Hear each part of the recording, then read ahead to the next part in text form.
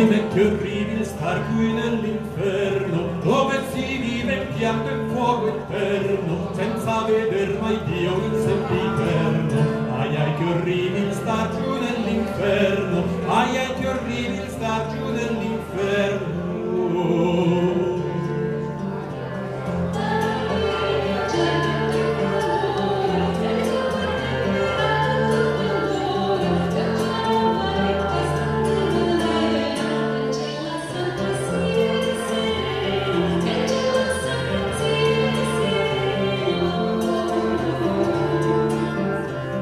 il fuoco e il ghiaccio, la che sul cuore, le prime le tempere,